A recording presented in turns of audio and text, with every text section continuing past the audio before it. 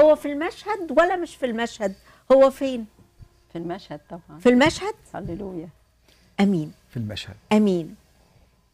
هنشوف هو في المشهد من أمثلة كتابية لكن أمثلة عملية كمان ليا وليك النهارده. إيه اللي بيحصل في حياتنا؟ هو مش بس إله العهد القديم وإله العهد الجديد ده إله النهارده. نعم. هو الإله اللي مسيطر على أعمال الرسل. هو اللي كل يوم بيكتب بقصة القسيس وبقصة نجاة وبقصتي وبقصصكم وباختباراتكم. صفحة جديدة في سفر أعمال الرسل مع بعض بنصنع تاريخ لإلهنا.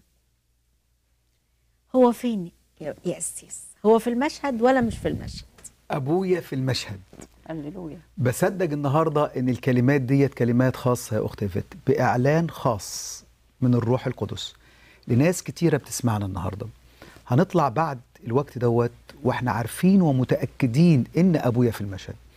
وإحنا بنصلي كانت الكلمات ديت كلمات نبوية من الله لينا. كنت بمر بظروف صعبة جدا في وقت كورونا. وصلت لمرحلة الانتهاء لكن وقفت وقلت له أنا لسه على حياتي في مواعيد. لسه على حياتي في خدمات. لسه في سفريات لسه في أفريقيا لسه في امتلاك لأراضي كتيرة. وجاتني العبارة ديت لا تخف لأن الرب في المشهد. ومن يومها مسكتها وقلت أبويا في المشهد. في كل أمر في حياتي أبويا في المشهد. وليه هو في المشهد رب عاطينا النهارده ثلاثية هنتكلم فيها مع بعض. الحاجة الأولانية ليه هو في المشهد؟ لأن أبويا صاحب السلطان فهو في المشهد. طيب.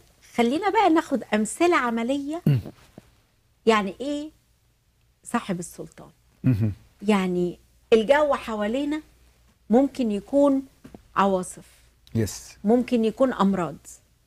إزاي ليه سلطان على المرض؟ إزاي ليه سلطان على الوباء؟ إزاي ليه سلطان على الريح؟ على الطبيعة. آه، أبويا ليه سلطان على كل شيء. فهو ليه سلطان على الشمس والقمر النجوم الكواكب الأنهار البحار المحيطات. هو ليه سلطان على كل شيء؟ أبويا ليه سلطان ليه سلطان على الكائنات الحية ليه سلطان؟ أبويا ليه سلطان على الأسود. ينزل دانيال في الجب يقول لهم ولا واحد منكم يفتح بقه. يفتح بقه. خلاص خدوا خدوا الأوامر. أبويا ليه سلطان على الطيور؟ غراب يجي بخبز ولحم صباحا لإيليا وخبز ولحم مساء. أبويا ليه سلطان لأنه في المشهد على حتى أسماك البحور يعملها هو يعرف يعملها. تعبوا الليل كله وأول ما وصل الصبح قال له يا غلمان ألعل عندكم إداما؟ قالوا مش لاقيين. قال لهم طب خلاص. ارموا الشبكة على ناحية ال- السفينة الأيمن. وسيدك أمر كل الأسماك أنها تدخل الشباك. هو ليه سلطان على كل شيء.